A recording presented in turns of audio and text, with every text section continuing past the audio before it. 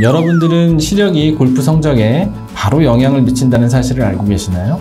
가까운 거리에 있는 사물이 흐릿하게 보이거나 잘 보이지 않아 필드의 경사나 홀의 위치 등을 파악하는 데 어려울 수 있습니다. 야외 활동 시에는 자외선 차단 선글라스를 꼭 착용하는 것을 권장드립니다.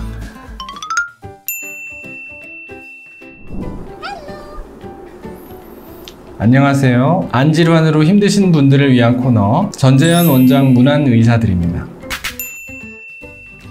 앞으로 가장 알고 싶어하는 눈 관련 지식이나 정보를 알려드리고 댓글 남겨주시면 적극 문의받아 답변 드리겠습니다.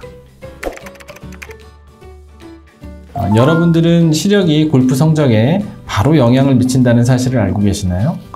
골프는 넓은 필드에 나가서 공을 치면서 지구력이나 집중력을 키울 수 있는 스포츠 중의 하나죠. 생각 외로 쉴 틈 없이 눈을 사용해야 하는 스포츠 골프는 오랜 시간 홀에 공을 넣기 위해 멀리도 보고 땅의 각도를 보기 위해 앉아보기도 하는데 눈이 건조하거나 뻑뻑할 경우 안구 조절력이 약화돼 가까운 거리에 있는 사물이 흐릿하게 보이거나 잘 보이지 않아 필드의 경사나 홀의 위치 등을 파악하는 데 어려울 수 있습니다.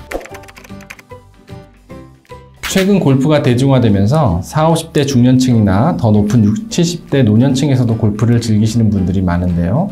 중년 골퍼분들의 고민은 퍼팅 라인을 보기 힘들거나 퍼터를 하는데 라이를 정확하게 읽어내지 못하는 것입니다. 그럴 때는 노안을 의심해 봐야 합니다. 노안은 수정체 조절 기능이 점점 떨어지면서 가까운 것이 잘 안 보이게 되는 자연스러운 노화 현상인데요. 요즘 스마트폰 사용으로 인해 젊은 노안 환자들도 늘어나고 있습니다. 야외 활동 시에는 자외선 차단 선글라스를 꼭 착용하는 것을 권장드립니다. 자외선은 눈 노화의 가장 큰 원인이기 때문에 골프 같은 야외 스포츠를 할 때 골퍼분들은 필히 챙이 있는 모자와 선글라스를 착용하셔서 안구 내로 들어가는 자외선을 사전에 막으셔야 합니다. 남녀노소 즐기게 된 골프는 재미난 대중 스포츠로 자리 잡았지만 그만큼 눈 시력에 따라 실력이 차이가 나게 되는 스포츠입니다. 40대 이후라면 눈 건강검진을 주기적으로 받아보시는 것도 골프를 오래 칠 수 있는 방법이 아닐까 생각합니다.